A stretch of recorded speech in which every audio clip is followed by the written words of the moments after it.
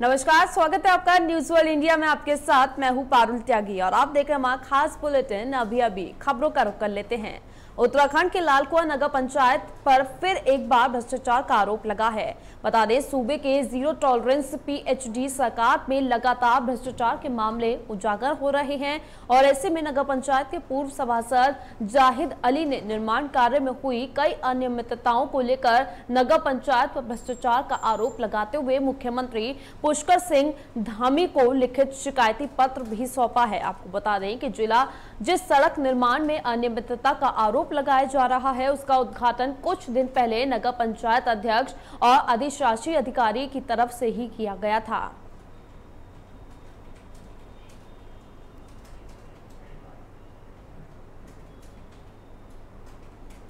चंद्रभागा नदी के पास एक होटल के किनारे अचानक तेरह फुट लंबा अजगर निकलने से पर्यटकों और स्थानीय लोगों में हड़कम मच गया। सूचना मिलते ही मौके पर पहुँचे वन कर्मचारियों ने अजगर को पकड़कर जंगल में छोड़ दिया। बता दें कि होटल में ठहरे पर्यटकों और स्थानीय लोगों ने अचानक नदी किनारे एक अजगर को देखा। पहले तो अजगर को देखने के लिए लोग उसके करीब पहुँचे और फ़ोटो भी लेने लगे, लेकिन जैसे ही अजगर ने हल्की सी हरकत क्या करी कि लोग और पर्यटक वहाँ पर मौजूद जो थे, वो सभी डर गए, जिसके बाद सूचना वन विभाग को दी गई और वन कर्मचारियों ने बताया कि अजगर की लंबाई तेरह फुट है और संभवत नदी नदी के बहाव के साथ अजगर आबादी वाले क्षेत्र में पहुँच गया है। साथ ही बताया कि अगर समय रहते अजगर को नहीं पकड़ा जाता तो बड़ा हादसा हो सकता था, क्योंकि जाँच में पता चला है कि अजगर भूखा था।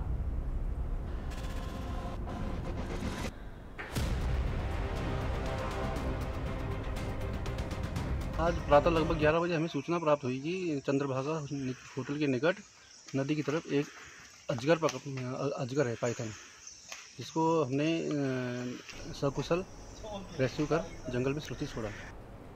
कोरोना की दूसरी लहर का कहर कम होने के बाद अब ज़्यादातर राज्यों में स्कूल, कॉलेजेस खोले जा रहे हैं और इसी बीच दिल्ली में भी स्कूल, कॉलेजों को दोबारा खोले जाने पर विचार किया जा रहा है। इस मुद्दे पर उपराज्यपाल अनिल बैजल की अध्यक्षता में शुक्रवार को दिल्ली आपदा प्रबंधन प्राधिकरण की अहम बैठक हुई। इस दौरान उन्होंने अधिकारियों को विस्तृत योजना तैयार करने के लिए एक विशेष समिति गठित करने का निर्देश भी दिया। डीडीएमए की इस बैठक में मुख्यमंत्री अरविंद केजरीवाल उप मुख्यमंत्री मनीष सिसोदिया, दिल्ली के स्वास्थ्य मंत्री सत्येंद्र जैन, परिवहन मंत्री कैलाश गहलोत, एम्स के निदेशक डॉक्टर रणदीप गुलेरिया, नीति आयोग के सदस्य विनोद कुमार पॉल और राष्ट्रीय रोग नियंत्रण केंद्र के निदेशक डॉक्टर सजीत सिंह, आईसीएमआर के महानिदेशक डॉक्टर बलराम भार्गव और राष्ट्रीय आपदा प्रबंधन प्राधिकरण के सदस्य कृष्ण वत्स भी मौजूद रहे। बता दें उप मुख्यमंत्री मनीष सिसोदिया ने बैठक के दौरान कहा कि लंबे समय से स्कूल बंद रखने से पढ़ाई का नुकसान हुआ है और अधिकतर अभिभावक दोबारा स्कूल खोले जाने के पक्ष में हैं। वहीं सिसोदिया ने बताया है कि दिल्ली सरकार की अभिभावकों और शिक्षकों के संग बैठक हुई, जिसमें मौजूद रहने वाले 8 लाख से ज़्यादा अभिभावकों में से 90 फ़ीसदी ने दोबारा स्कूल खोले जाने का समर्थन किया है तो बता दें, देश में पिछले करीब एक से डेढ़ साल से स्कूल बंद हैं। ऐसे में एक बार फिर से दिल्ली में स्कूल कॉलेजों को खोलने पर विचार किया जा रहा है, जिसको लेकर ये अहम बैठक की गई है जीटीएमए की तरफ़ से। और ज़्यादातर अभिभावकों की बैठक में यही राय रही कि अब स्कूल और कॉलेजेस को खोल दिया जाना चाहिए।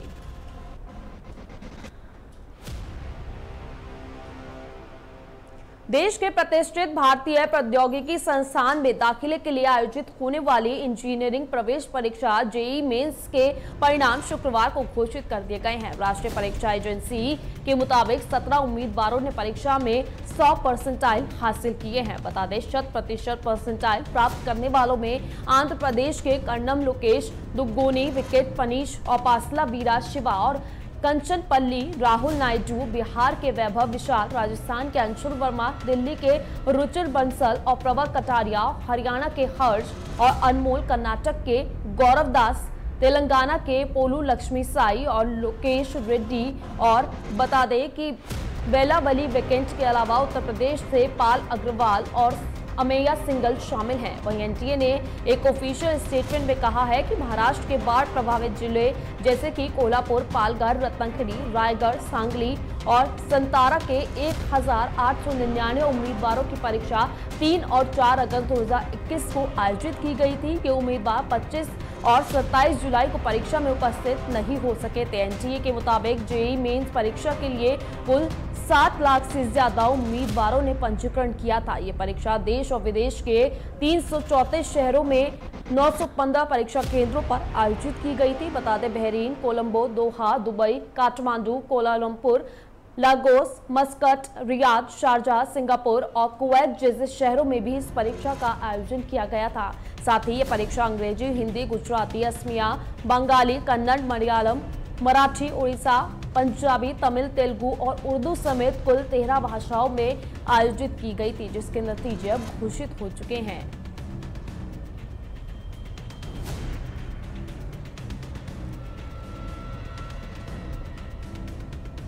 भारतीय महिला हॉकी टीम ने टोक्यो ओलंपिक में लगातार तीन हार झेलने के बाद सभी को चौंकाते हुए सेमीफाइनल तक का सफ़र तय किया था। ये पहला मौका था कि जब भारतीय महिला हॉकी टीम ओलंपिक में इस मुकाम तक पहुँची थी, वहीं सेमीफाइनल मुकाबले के अर्जेंटीना से दो एक से हारने के बाद महिला टीम कांस्य पदक का प्ले मुकाबला भी हार गई। जिसके बाद टीम के कोच शारजे मरिन ने अपने पद से इस्तीफा दे दिया है। बता दें, भारतीय महिला हॉकी टीम के कोच शारजे मरिन का कहना है कि टीम के साथ उनकी ज़िम्मेदारी ओलंपिक खेल में कांस्य पदक के प्ले ऑफ़ मुकाबले तक की ही थी और वहीं देश भर में महिला हॉकी टीम के प्रदर्शन को देख सभी कोच शारजे मारिन के परीक्षण की प्रशंसा भी कर रहे हैं और ये उनके कड़े प्रशिक्षण का नतीजा है कि भारतीय महिला टीम ने ऑस्ट्रेलिया जैसी बड़ी टीम को हराकर सेमीफाइनल में अपनी जगह बना ली थी।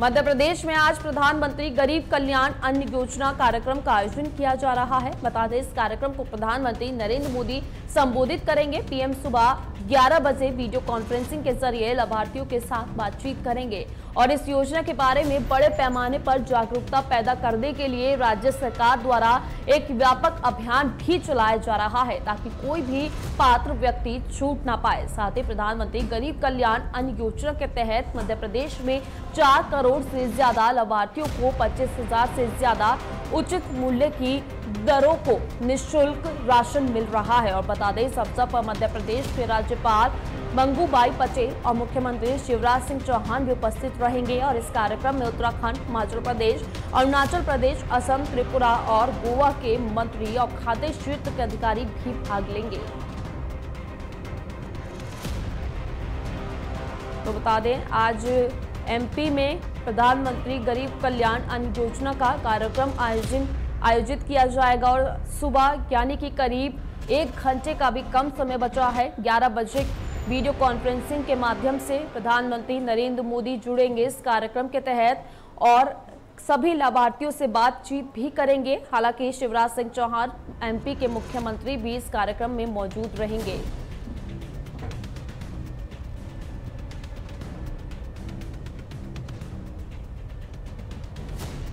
प्रधानमंत्री गरीब कल्याण अन्न योजना कार्यक्रम पर पूर्व मुख्यमंत्री कमलनाथ ने बाढ़ की स्थिति का ज़िक्र करते हुए सवाल उठाए हैं। बता दें, पूर्व मुख्यमंत्री कमलनाथ ने शुक्रवार को बयान जारी कर कहा है कि राज्य के ग्वालियर, चंबल संभाग सहित कई ज़िले भीषण बाढ़ की चपेट में हैं और 1250 से ज़्यादा गाँव अभी भी इस भीषण बाढ़ की चपेट में हैं और कई लोगों की जान इस बाढ़ की वजह से जा चुकी है। हज़ारों लोग अभी भी इस भीषण बाढ़ में फंसे हुए हैं और कई गाँव का सड़क संपर्क भी पूरी तरह से टूट चुका है। कई छोटे छोटे बड़े और पुल पुलिया भी बह चुके हैं। क्षेत्र के राष्ट्रीय राजमार्ग सहित कई सड़कें उखड़ चुकी हैं और ध्वस्त हो चुकी हैं। साथ ही कई मकान पूरी तरह से क्षतिग्रस्त हो गए हैं, वहीं फ़सलें बर्बाद हो गई हैं। पशु हानि भी पहुँची है और लोगों की गृहस्थी का पूरा सामना इस समय बाढ़ के पानी में बह चुका है। सामान, ऐसे में लोगों के आस नहीं थम रही है और लोगों का सब कुछ बर्बाद हो चुका है। उन्होंने आगे कहा कि प्रदेश संकट में है और शिवराज सरकार प्रदेश में 7 अगस्त को भव्य तरीके से अन्न महोत्सव मनाने की तैयारियों में जुटी हुई है। वहीं राशन दुकानों को गुब्बारे लगाकर भव्य तरीके से होर्डिंग्स, पोस्टर लगाकर सजाया जा रहा है। लोगों को निमंत्रण बांटे जा रहे हैं। साथ ही प्रभात फेरियाँ निकाली जा रही हैं और पूरी सरकार इस योजना की तैयारी में लगी हुई है। वहीं दूसरी तरफ़ प्रदेश का बड़ा हिस्सा बाढ़ की चपेट में है और अभी आवश्यकता है बाढ़ में फंसे हज़ारों लोगों के जीवन को बचाने की, साथ ही राहत और बचाव कार्य में तेज़ी लाने की, आधारभूत संरचनाओं के पुनर्निर्माण की। लेकिन ऐसे में सरकार इस ओर ध्यान देती हुई नज़र नहीं आ रही है। तो बता दें, जहाँ पर एक तरफ़ आज मध्य प्रदेश में प्रधानमंत्री गरीब कल्याण अन्न योजना कार्यक्रम का आयोजन किया जा रहा है, वहीं दूसरी तरफ़ पूर्व मुख्यमंत्री कमलनाथ ने पीएम मोदी पर और मध्य प्रदेश सरकार पर निशाना साधा है। उन्होंने कहा है कि जहाँ मध्य प्रदेश के तमाम ज़िले इस समय बाढ़ की चपेट में है। लोग परेशान हैं। लोग की गृहस्थी उजड़ चुकी है। लोगों का सामान बाढ़ में बह चुका है। इस और ध्यान नहीं देने की बजाय सरकार कार्यक्रम का आयोजन कर रही है। प्रभात फेरियाँ निकाल रही है, रैलियाँ निकाल रही है, होर्डिंग्स लगा रही है। लेकिन सरकार की समय सबसे बड़ी और पहली प्राथमिकता लोगों की मदद करना होना चाहिए था। लेकिन इस समय सरकार ये कार्यक्रम कर रही है।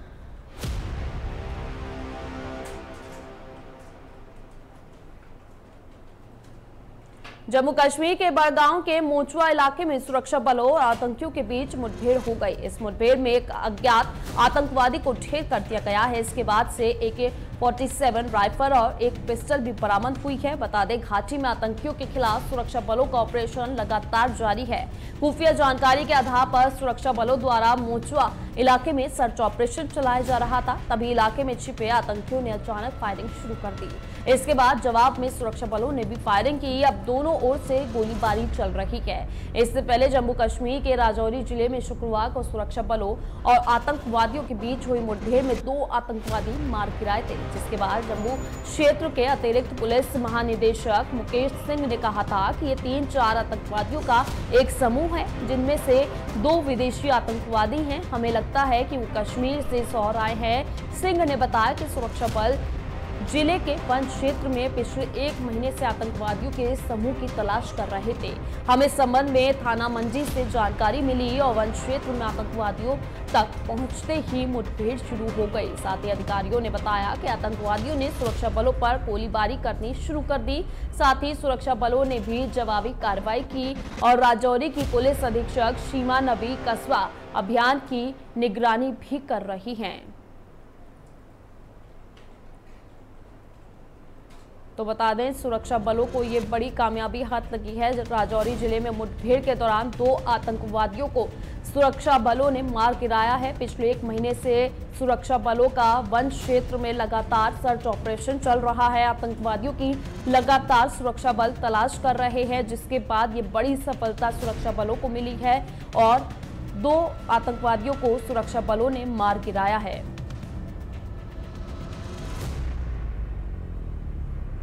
केंद्रीय कृषि कानूनों का विरोध कर रहे किसानों की ओर से आयोजित किसान संसद में तीन विवादास्पद कानूनों को निरस्त नहीं करने को लेकर शुक्रवार को सरकार के खिलाफ अविश्वास प्रस्ताव लाया गया। संयुक्त किसान मोर्चा ने ये जानकारी दी है। बता दें, एसकेएम ने कहा कि सरकार के खिलाफ एक अविश्वास प्रस्ताव लाया गया है और ये प्रस्ताव इस तथ्य पर आधारित था कि देश भर में लाखों किसानों के शांतिपूर्ण विरोध के बावजूद भी उनकी मांगों को पूरा नहीं किया जा रहा है और सरकार किसान विरोधी कदम उठा रही है। तो बता दें, लगातार पिछले आठ महीने से किसानों का दिल्ली में प्रदर्शन जारी है। ऐसे में सरकार के खिलाफ किसानों का ये अविश्वास प्रस्ताव आया है और किसानों की मांगे पूरी नहीं की जा रही हैं। इसीलिए लगातार किसान किसान संसद भी चला रहे हैं। जंतर मंतर पर जिस तरह से देश में संसद का मानसून सत्र चल रहा है, उसी तर्ज पर किसानों की किसान संसद जनता मंत्र पर चल रही है और लगातार पिछले आठ महीने से किसान प्रदर्शन कर रहे हैं। सरकार के खिलाफ किसानों की मांग है कि अगर इन्हें पूरा नहीं किया जाएगा तो प्रदर्शन लगातार जारी रहेगा। सरकार के खिलाफ किसानों का ये अविश्वास प्रस्ताव लाया गया है।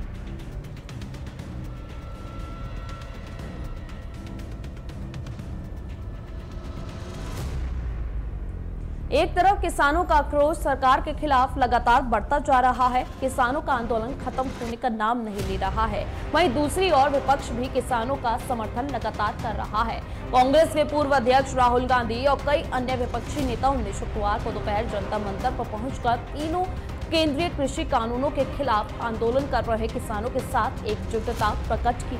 बता दें, किसान संगठनों द्वारा आयोजित किसान संसद में भाग लेने के लिए लेने के बाद राहुल गांधी ने कहा कि विपक्षी पार्टियों ने किसानों के प्रति अपना पूरा समर्थन जताया है और तीनों नए कृषि कानूनों को निरस्त करने पर ज़ोर दिया है। वहीं दूसरी तरफ़ केंद्रीय कृषि मंत्री नरेंद्र सिंह तोमर ने विपक्ष के इस कदम को मीडिया इवेंट यानी कि मीडिया को ध्यान में रखकर किया गया आयोजन करार दे दिया है। उन्होंने कहा कि अगर विपक्षी दल किसानों के मुद्दे को लेकर ईमानदार होते तो संसद में चर्चा करते।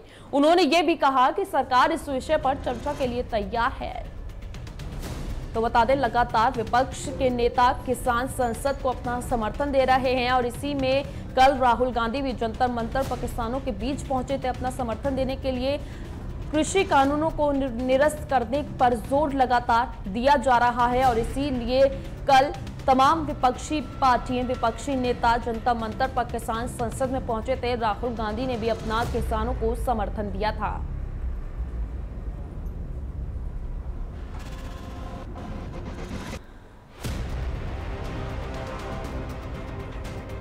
आज टोक्यो ओलंपिक्स में फिर से भारत को पदक की उम्मीद है। जी हाँ एथलेटिक्स में ओलंपिक पदक इंतज़ार खत्म करने के लिए आज नीरज चोपड़ा पर देश की निगाहें टिकी हुई है दरअसल पिछले 100 साल का इंतज़ार खत्म करने के लिए भाला फेंक के फाइनल में नीरज चोपड़ा आज दम दिखाएँगे। तो बता दें, टोक्यो ओलंपिक में लगातार भारत के खिलाड़ी अच्छा प्रदर्शन कर रहे हैं और ऐसे में नीरज चोपड़ा पर आज सबकी देश की निगाहें टिकी हुई हैं और आज 100 साल का इंतज़ार खत्म हो जाएगा। भाला फेंकने वाले प्रतियोगिता में नीरज अपने आप को प्रस्तुत करेंगे और ऐसे में आज देश भर की निगाहें नीरज पर टिकी हुई हैं। भारत को उम्मीद है कि आज भारत एक पदक अपने नाम कर लेगा। नीरज चोपड़ा पर देश भर की निगाहें हैं। दरअसल पिछले कई दिनों से भारत को कोई ना कोई मेडल मिल रहा है। इसी उम्मीद में आज सबकी निगाहें नीरज चोपड़ा पर हैं कि नीरज आज टोक्यो ओलंपिक में अच्छा प्रदर्शन करेंगे और हो सकता है नीरज को पदक आज मिल जाए। सौ साल का इंतज़ार जो है वो आज खत्म हो सकता है। सीरम इंस्टीट्यूट के सीईओ अदाब पुनावाला ने गृह मंत्री अमित शाह से शुक्रवार को मुलाकात की। बता दें, गृह मंत्री से मुलाकात के बाद उन्होंने कहा कि सरकार हमें समर्थन दे रही है। हमारे और सरकार के बीच कोई वित्तीय संकट जैसी स्थिति नहीं है। हम कच्चे उत्पादों को बढ़ाने पर ज़ोर दे रहे हैं। साथ ही अदाब ने कहा कि हम केंद्र और प्रधानमंत्री नरेंद्र मोदी के शुक्रगुजार भी हैं। उनकी तरफ़ से औद्योगिक स्तर पर वैक्सीन उत्पादन की क्षमता को बढ़ाने के लिए बड़ी मदद मिल रही है। साथ ही कोवैक्सीन के उत्पादन पर अदाब पूनावाला ने कहा कि इसे डीडीआई की मंजूरी में के लिए भी भेजा गया है। वहीं अदाब पूनावाला ने कहा कि कोवैक्सीन अक्टूबर तक लॉन्च कर दी जाएगी, साथ ही इसकी दो डोज लोगों को दी जाएगी। वहीं कीमतों पर अभी हम कुछ नहीं कह सकते हैं और जैसे ही इसे लॉन्च कर दिया जाएगा, लोगों को सूचना दे दी जाएगी। बता दें, साल 2022 की छमाई तक इसे बच्चों के लिए भी लॉन्च कर दिया जाएगा। वहीं वैक्सीन की क्षमता को बढ़ाने पर काम लगातार चल रहा है। साथ ही सीरम इंस्टीट्यूट ऑफ़ इंडिया ने अमेरिका स्थित नोवैक्स कंपनी के कोवैक्स वैक्सीन के आपातकालीन उपयोग के लिए भी आवेदन किया है। साथ ही अमेरिका स्थित नोवैक्स का सीरम इंस्टीट्यूट ऑफ़ इंडिया के साथ वैक्सीन निर्माण को लेकर समझौता भी है। ऐसे में सीरम इंस्टीट्यूट ही कोविशील्ड वैक्सीन पर ही बनती है। बता दें कोविशील्ड ही देश में व्यापक स्तर पर वैक्सीन उत्पादन कर रही है।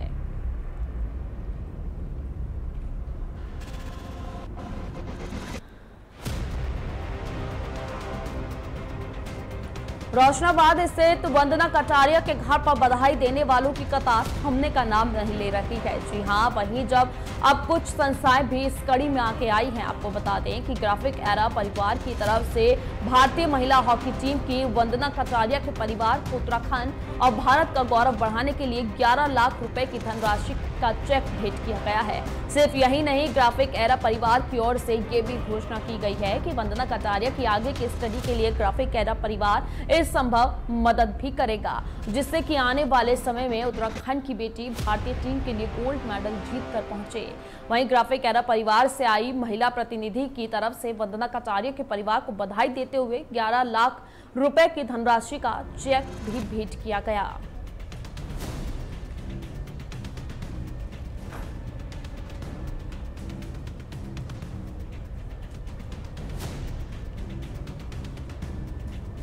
उत्तराखंड सरकार में महिला और बाल विकास मंत्री रेखा आर्य के पति पप्पू गिरधारी के खिलाफ गैर जमानती वारंट जारी कर दिया गया है।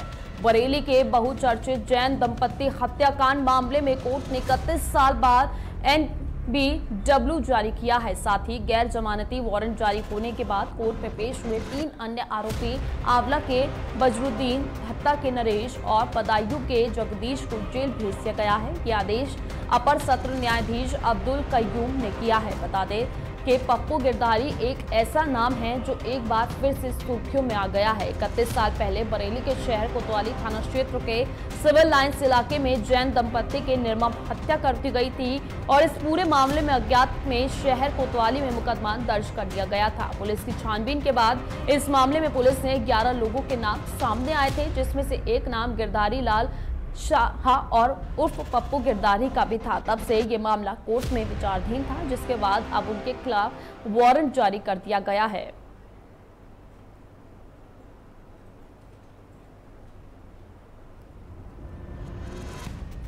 तो बता दें, रेखा आर्या के पति के खिलाफ ये वारंट जारी किया गया है। इकतीस साल पुराना ये मामला है। दरअसल बदायूं में एक जैन दंपति की हत्याकांड का ये पूरा मामला है, जहाँ पर पुलिस ने 11 लोगों के खिलाफ मुकदमा दर्ज किया था। कई लोगों के खिलाफ, लेकिन 11 नाम इस पूरे मामले में सामने आए थे, जिसमें से एक नाम रेखा आर्य के पति का भी सामने आया था, जिसके बाद अब वारंट जारी कर दिया गया है। और ऐसे में बता दें, पप्पू गिरधारी के नाम पे वारंट जारी किया गया है। और 31 साल से ये मामला कोर्ट में विचाराधीन था, जिसके बाद अब वारंट जारी किया गया है। ऐसे में कई नाम सामने आए थे और 11 लोगों के खिलाफ पुलिस ने मामला दर्ज किया था। पुलिस की छानबीन के बाद 11 नाम ऐसे थे जो सामने आए हैं, जिनमें से एक रेखा आर्य के पति का नाम भी शामिल है, जिनके खिलाफ अब ये वारंट जारी कर दिया गया है।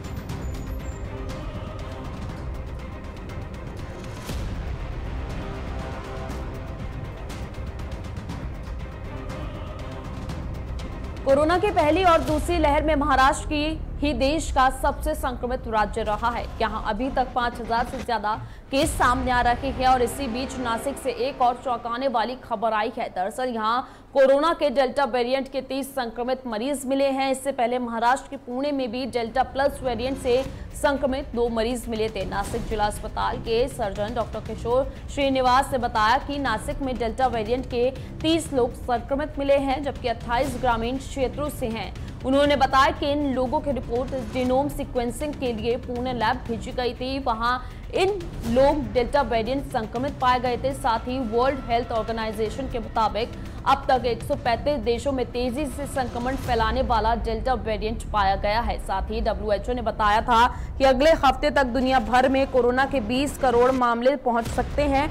हालाँकि कोरोना को लेकर जारी बयान में डब्ल्यूएचओ ने बताया है कि दुनिया भर में एक सौ बत्तीस देशों में बीटा वेरिएंट के केस मिले हैं, जबकि इक्यासी देशों में गाँव वेरिएंट के केस मिले हैं। वहीं डब्ल्यूएचओ के मुताबिक एक सौ बयासी देशों में कोरोना के अल्फ़ा वेरिएंट केस भी मिले हैं, जबकि डेल्टा वेरिएंट के केस एक सौ पैंतीस देशों से सामने आ रहे हैं। ये सबसे पहले भारत में ही पाया गया था।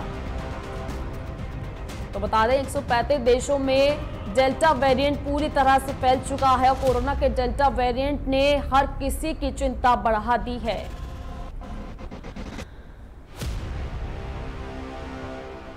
इस बुलेटिन में फ़िलहाल के लिए इतना ही। आप देखते रहिए न्यूज़ वर्ल्ड इंडिया।